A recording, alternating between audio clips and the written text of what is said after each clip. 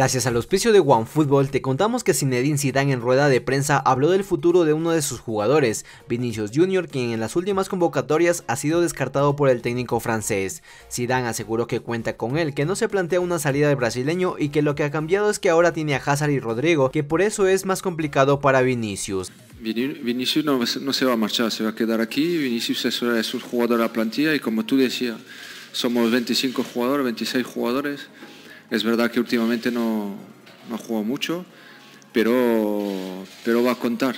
Lo que ha cambiado es que está Azar y está Rodrigo de momento, y que lo están haciendo bien. Está están todos los jugadores, pero solo, solo eso. Él también lo está haciendo bien en entrenamiento, se entrena bien. Eh, como tú decías, el año pasado lo ha hecho, lo ha hecho muy bien y también eh, lo que él quiere es intentar cada vez que le toca hacerlo bien. También se refirió a nombres en concreto como Mariano Militao y Brian Díaz. Zidane asegura que su momento llegará, que deben tener paciencia, pero con todo no descartó una posible salida en enero.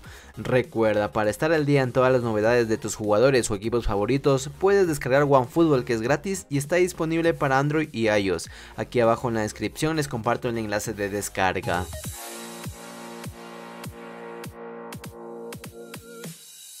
La aventura de Unai Emery con el Arsenal ha llegado a su fin este día viernes. La directiva del conjunto inglés ha despedido al estratega español que acumulaba 7 partidos consecutivos sin conocer la victoria en todas las competiciones que vienen disputando. La derrota de este pasado jueves ante el Eintracht por la Europa League fue la gota que derramó el vaso y la directiva decidió cesar a Emery de su cargo. La afición del Arsenal ya había perdido la fe en su entrenador, así lo evidenciaba los más de 30.000 asientos vacíos en las gradas del estadio. Freddy ex jugador del Arsenal, será el entrenador interino hasta la llegada del nuevo técnico al Arsenal.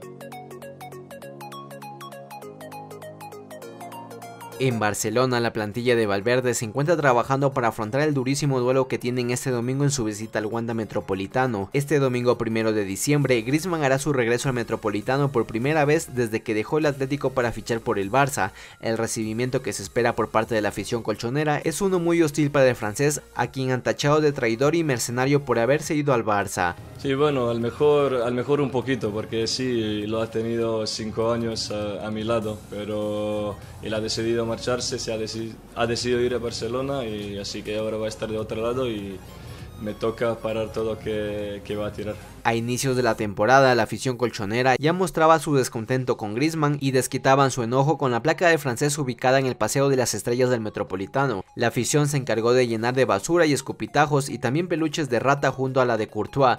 Para los aficionados, Courtois y Griezmann son los máximos traicioneros de la historia por haber fichado por equipos rivales del Atleti.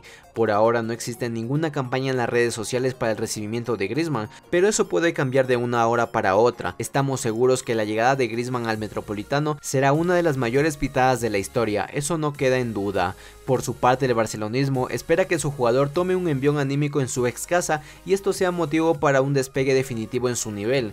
Griezmann lleva 17 partidos con el Barça y no ha sido sino hasta el último que disputó en Champions donde lograron conectar y definitivamente convencer el tridente completo. Coque, ex compañero de Griezmann en el Atleti, se refirió al regreso del francés y esto dijo al respecto. Bueno, Antoine en estos cinco años como jugador del Atlético Madrid lo dio todo, todo el mundo se, se lo ha agradecido y bueno, luego como recibirle es un, es un rival, vamos a, a jugar contra el, fútbol, contra el Fútbol Club Barcelona, no solo contra, contra Antoine Griezmann. Y... ¿A ti te dolería que el domingo se le pitase en el Wanda Metropolitano? Que si me dolería. Bueno, la gente tiene, tiene su opinión y, hay que respetarla, ¿no? Hay gente que, pita, gente que aplaude. Son decisiones de las personas que, hay que respetar, si me dolería o no. Ya eso es, es cosa mía que me guardo para mí, ¿no? Pero, pero bueno, veremos a ver qué pasa. Estamos centrados, como te he dicho en el partido, no estamos centrados en, en el torneo.